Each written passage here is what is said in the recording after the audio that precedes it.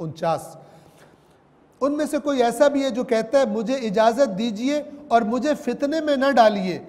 देखो, फितने में ये पड़ चुके हैं और जहन्नम ने इन काफरों को यकीनन घेर रखा है।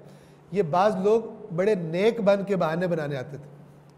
क्या ये रिवायात में मिलता है कि बाज़ लोग आए, उन्होंने कहा कि, या रसूल अल्लाह रूमी औरतें बहुत खूबसूरत होती हैं। हम उन पे आशिक हो गए तो हमारा दीन ख़राब हो जाएगा, लिहाजा हम नहीं जाना चाहते। नेक बन के पीछे रहना चाह रहे बाज़ लोगों ने कहा, अगर फतह हो गई तो रूमियों का इतना वहाँ पर माल है तो हम इतना माल दे के कहीं हमारा दीन ख़राब ना हो जाए। हमें यहीं पे छोड़ जाए पीछे वापस।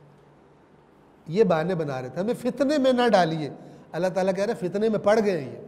जो आपके साथ नहीं जा रहे बेईमान, ये फितने में पड़ गए बाज़ दफ़ा तो बंदे गलत बाज़ दफ़ा नेकी अपनी का बहाना बना के उसको दीन को फ्रंट पे रख के उसकी आड़ में अपनी बेईमानी छुपा रहे होते हैं। बाज़ लोग ऐसे भी होते हैं, अल्लाह ताला ने यहाँ पर बयान फरमा दिया।